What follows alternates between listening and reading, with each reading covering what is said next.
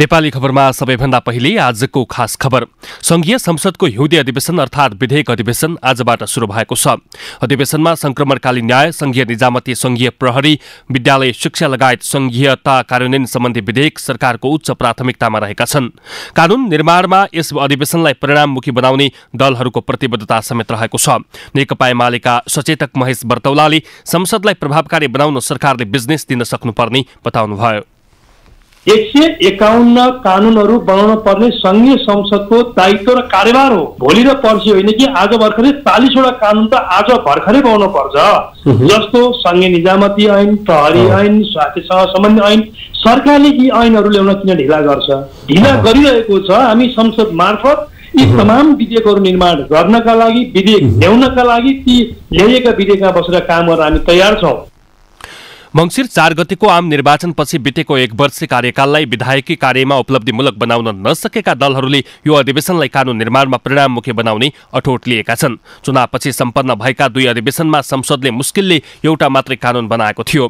संविधान निर्माणको आठ वर्ष बितिसक्दा पनि संघीयता कार्यान्वयन गर्न अति आवश्यक कानून नबनेर चौतर्फी प्रश्न उठिरहँदा दलहरू हिउँदी अधिवेशनमा बढीभन्दा बढी कानून बनाउनु पर्ने दबावमा छन्। सरकार पनि तीसभन्दा बढी ऐनको मस्यौदाको गृह कार्यमा छ। राजसभाका प्रमुख सचेतक सन्तोष परियारले अब पनि कानुन निर्माणमा आलटाल गर्ने समय नभएको बताउनु भएको छ।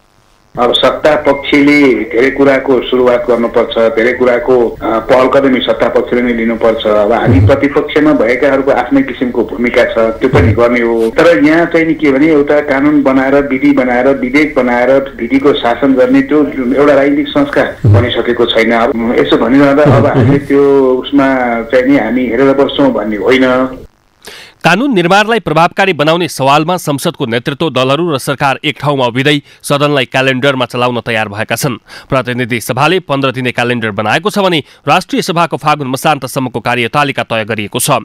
क्यालेन्डरमा हप्ताको तीन दिन सदन र तीन दिन समिति चलाउने प्रस्ताव गरिएको छ। हिउँदे अधिवेशनमा संसदले संक्रमणकालीन न्याय सम्बन्धी विधेयकलाई प्रथम प्राथमिकतामा राखेको छ। सकेसम्म सबै दलको सहमतिमा टुङ्ग्याउने नभए बहुमतका आधारमा पनि प्रक्रिया अघि बढ्ने माओवादी केन्द्र र कङ्ग्रेसका प्रमुख सचेतक द्वय हितराज पाण्डे र रमेश लेखकको भनाइ छ। त्यो सङ्क्रमणकालीन न्यायसँग सम्बन्धित जो विधेयक छ यदि यो विधेयक चाहिँ सहमति हुन सकेन भने पनि अब प्रक्रियाबाट भने पनि यसलाई छिटो लैजानुपर्छ भन्ने बारेमा चाहिँ न्याय कानुन तथा मानव अधिकार समितिमा एक किसिमको सहमति पनि भएको छ।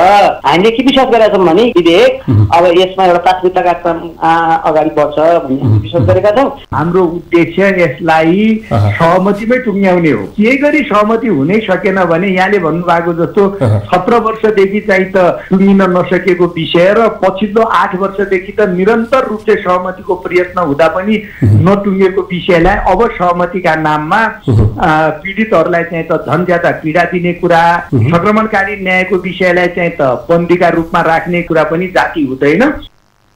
गम्भीर मानव अधिकार उल्लङ्घनको परिभाषा तथा मानव अधिकार उल्लङ्घनका घटनामा मेलमिलाप नभए के गर्ने भन्ने विषय र टुङ्गिन बाँकी रहेको विधेयक सकेसम्म सहमतिमा नै र सहमति हुन नसके बहुमतबाट टुङ्ग्याउने समझदारी दलहरू बीच भएको छ। दुई हजार एकहत्तर सालमा बनेर कार्यान्वयन हुन नसकेको बेपत्ता पारिएका व्यक्तिको छानबिन सत्य निरूपण तथा मेलमिलाप आयोग ऐन नौ वर्ष बित्दा पनि संशोधन हुन सकेको छैन।